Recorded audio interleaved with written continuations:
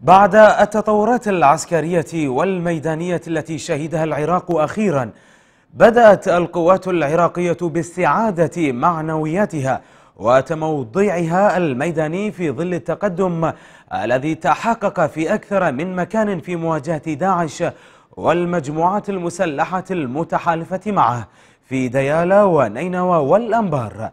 سياسيا تزامن خطاب المالكي في القادة العسكريين العراقيين بسامراء مع رفض دولي وإقليمي لتمدد الإرهاب بالمنطقة وسط مخاوف من تداعيات الوضع العراقي على المشهد الدولي المأزوم.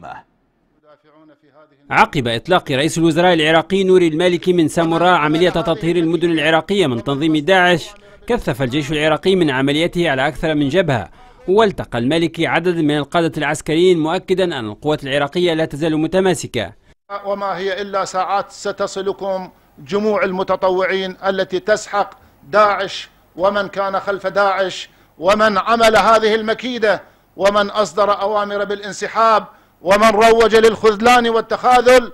تحضروا تجهزوا لأننا من هنا نبدأ ومن هنا تكون البداية الكريمة الموفقة إن شاء الله من جنب الإمامين العسكريين لكي نصل إلى كل شبر من أرض العراق الطاهر التي دنستها أقدام هؤلاء الخونة والمجرمين. في غضون ذلك. طرد الجيش بالتعاون مع مسلحي عشائر الضلوعية عناصر داعش من الإسحاق جنوب ساموراء ومن ناحية المعتصم في صلاح الدين وفق ما أفاد به الفريق الركن صباح الفتلاوي قائد عملية ساموراء. في دورها أكدت شرطة صلاح الدين سيطرة القوات العراقية على الناحية مشيرة إلى أن الجيش سيطر أيضا على الطريق الرئيسي بين بغداد وساموراء.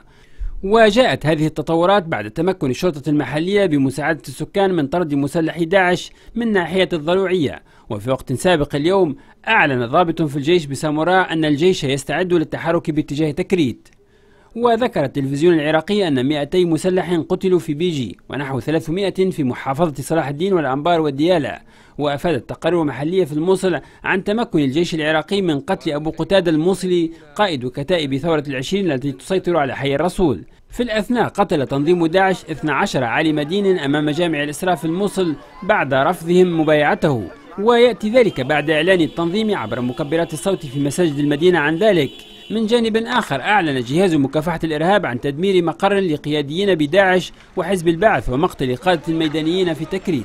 وعلى الحدود العراقية السورية سيطرت وحدات الحماية الكردية إلى جانب البيشمركة وبالتنسيق مع قبائل شمر على معبر ربيع العراقي من الجانبين نافية أي سيطرة لداعش عليه. كما كثفت الوحدات الكردية انتشارها في مدينة اليعروبية ومعبرها. وبالتوازي تمكنت البشمركة من السيطرة على مقر قيادة الجيش قرب كركوك بعد اشتباكات عنيفة مع المسلحين بالتزامن مع اشتباكات في محيط كركوك مع مسلحي داعش.